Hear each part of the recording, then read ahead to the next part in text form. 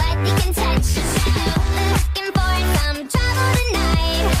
Take my hand, i